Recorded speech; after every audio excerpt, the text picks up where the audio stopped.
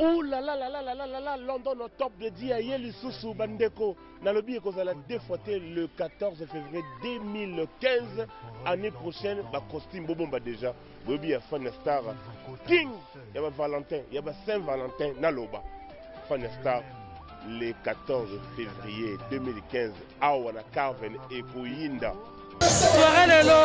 Bonsoir, bonsoir. Elengi makasi. Elengi. Nasepeli komona yo lisusu. Mama mokonzi. Elengi makasi. Donc euh, bonne fête à tout le monde. Tosepeli vraiment. likanisi oyo ndeko na biso mobali azwi mpo asalaka bavalentine ebele po olobini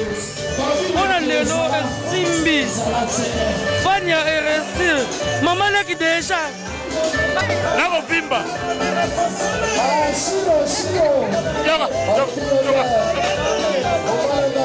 kovimba esengo nini oza nango mpo na journal eh, journal elengi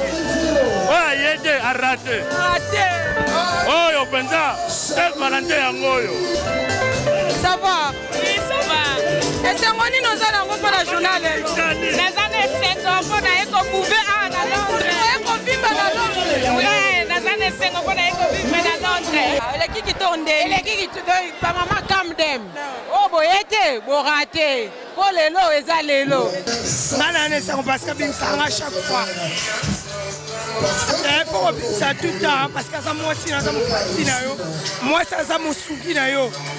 aridwa ndako te parce so ozobimisa ete obisa nani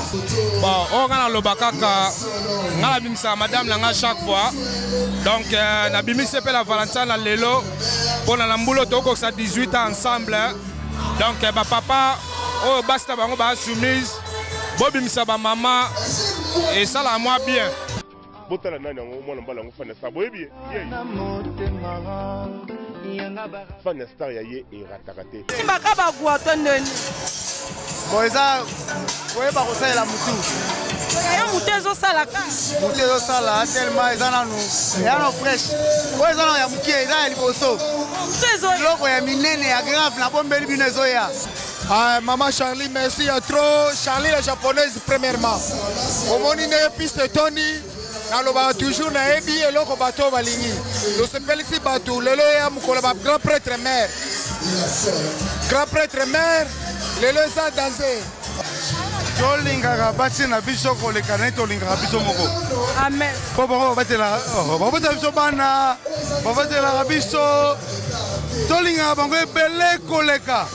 mpo mwasi moto abota biso mwasi abota biso tosala baventure te nayebi ke oh, nakolinga sheri wana oza baventure tika linga mpo na bolingo ma ya solo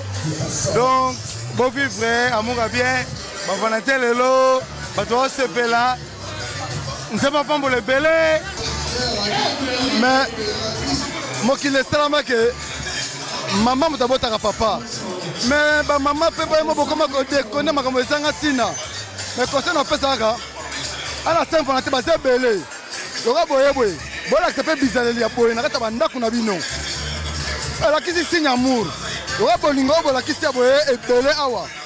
bozala kata bandako mama moto abombaka makambo abombaka zemi na libumu nde pendant 9 mois lokola mama abombaka zemi pendant 9 mois ye bakosiporte mobali lokola mwana na yo biso mibali to makambo ya bana mike ebele me mama siporte ngai nakochange nakozala fidèle swaro esimbi nango donc ngai nasepeli na ngai seva latin atuka fanya star olongi na ndimi na ebeke eza boye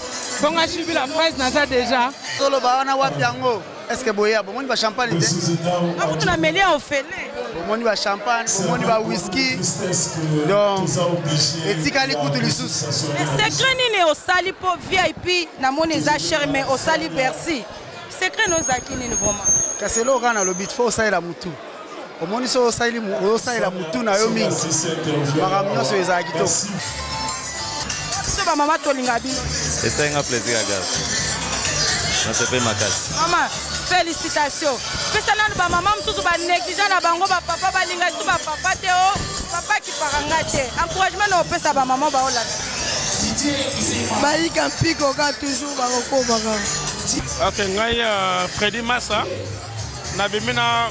ma, ma, ma femme première dame uh, juste pour la fête des mamans pour la, la fête à saint valentin nasepeli makasi kobima na première dame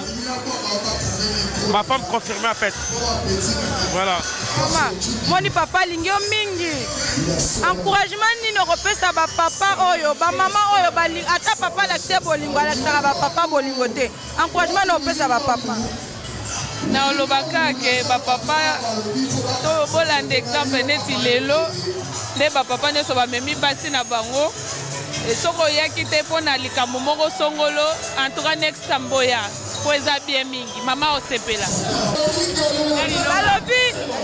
mama bonga na papa mama félicitation omoni façon okangeli papa namoni mpenza bolingo ezali pesa biso nanu journal lelo sepeli esengo eza nde nasepeli makasi mpo dadi mpenza asepelisi ngai abi na saint valentin lelo fo afuta vip mpo abimisa mama bana na ye alors nasepeli makasi ifo nga mpe na manifeste su bolingo makasi epa na ye naluka mpenza kimia na ndenge moko moke te eh, nasepeli mingi antuka eleki malamu soire eleki kitoko nakumisi mpe nzambe mpo akomisi biso su na mokolo ya lelo nasepeli makasi papa balobi kado ya lelo eleki bakado nyonso eza spesiale mote mama aza na esengo message nini okopesa bapapa mosusu olesepesa mama ndenge osepeli se baza ata na likanisi wana te bon message na kopesa bapapa mosusu bon ata kutu baloki diafuku yango me mama pale amera pale